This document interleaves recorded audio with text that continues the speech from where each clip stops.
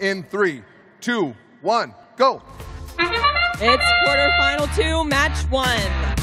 It is autonomous mode, and 2181 gets a gear to their alliance, and they have the first rotor turning for the red alliance. And we've got the rotor turning for blue. That brings us tied. It is Helios.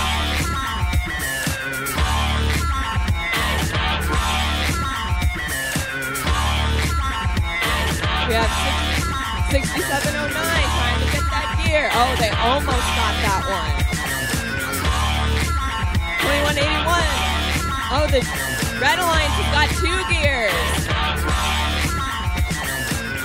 They only need two more to get the third rotor turning. One more.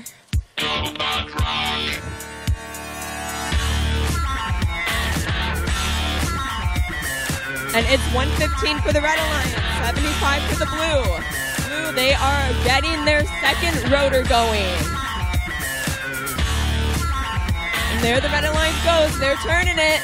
They got the third rotor. If they can get the fourth rotor, that'll be 100 points.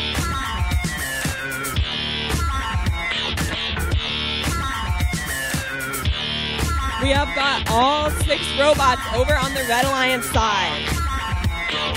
2181.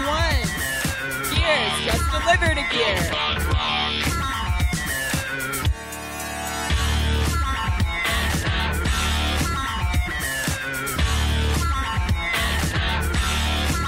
Got 2518.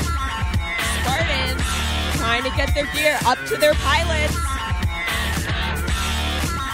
And they got it. One more gear is needed for four rotors on the Red Alliance. 30 seconds left in the match. The ropes are being deployed. And we've got we've got one Blue Alliance ready for takeoff. One on red, two on red. Will they get the last one? Almost got it, and we've got two on blue. The Alliance Captain 6709 got the last one for blue. And that is the end of the match. We will have the scores. Let's take a look at the results. It's Red Alliance. Red Alliance is the winner with 250 po- points.